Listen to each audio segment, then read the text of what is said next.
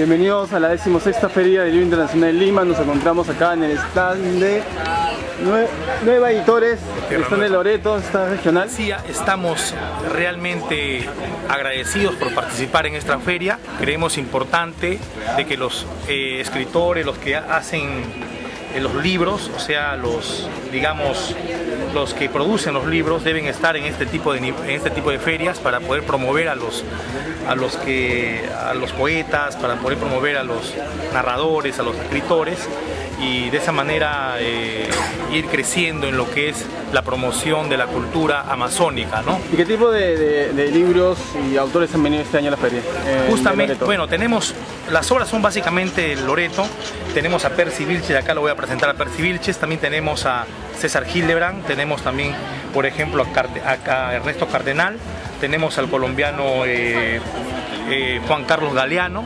entonces, aunque parezca mentira, eh, Tierra Nueva logra trascender la- las fronteras, ¿no?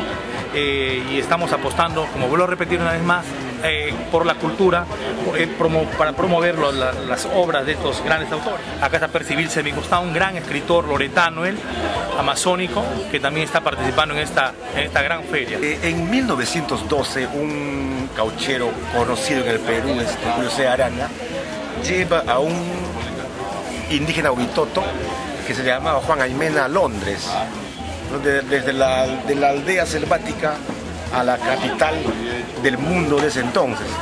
El objetivo de Arana era llevar es, que, a- se convierta en el primer doctor indígena, o sea, en el campo del derecho pero resulta que este, poco después vino la crisis del caucho y se acabó el imperio de Arana. El presente libro narra, este, se basa en, una, en, un, en un rastreo, en una búsqueda de, la- de las huellas en Londres de este personaje.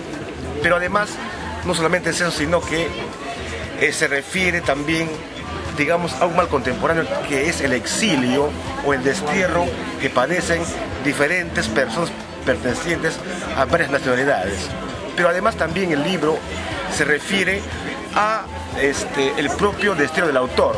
De esa manera, este bitoto amazónico se convierte en una metáfora, en, una, en un símbolo de un mal de ayer y del presente.